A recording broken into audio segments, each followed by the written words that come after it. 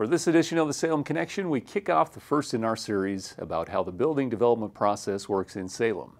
Each proposal for a future development project is reviewed by staff for consistency with the code and zoning regulations, as well as overarching plans for the individual area and community as a whole.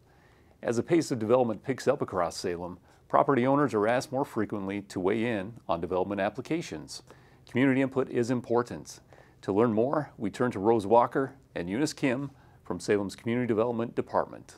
Hi, I'm Eunice and I'm a planner with the City of Salem. And I'm Rose. I am a Neighborhood Services Counselor. Thank you again for joining us as we continue our discussion about the land use process. In this video, we're going to be providing a brief overview by focusing on one example of what happens when an application is submitted to the city. This is a story of Mr. and Mrs. Hernandez. They have dreams of opening a child daycare center in Salem. They have found this vacant lot that's for sale and they want to build on it. The site is zoned residential and daycare centers are allowed in this zone, but only with a conditional use permit. And what is a conditional use permit, Eunice?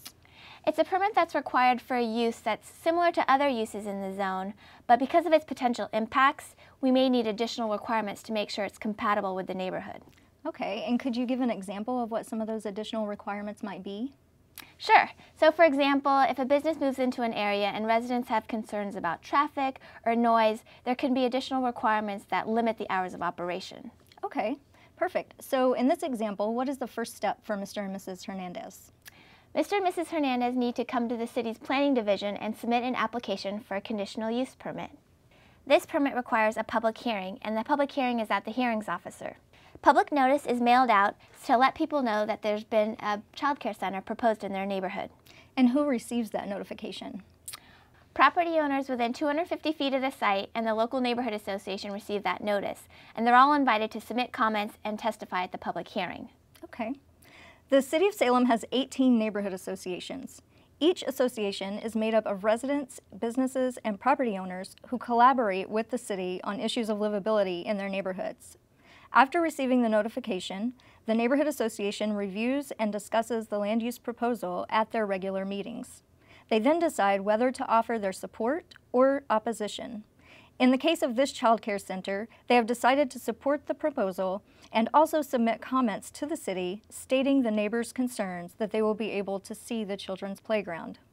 Planners like myself then review the proposal and all the comments that we receive, and we prepare a staff report for the public hearing. The staff report contains our recommendations on the proposal. This can be, for example, whether we recommend approval or denial.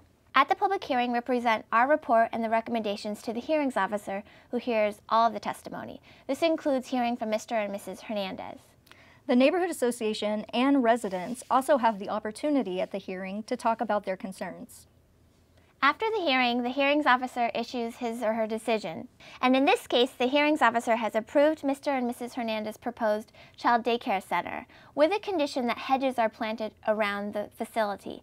This will address the concern that residents have about being able to see the child play areas. Eunice, so how are the neighbors informed of the decision? Neighbors who testified at the hearing or submitted comments are received notice of the decision. And then the local neighborhood association also gets the decision, so neighbors can always stay in touch with their neighborhood association. So what happens next in the process for the child care center after the decision has been made? There's a 15-day period during which the decision can be appealed, and the City Council can also choose to consider the proposal themselves.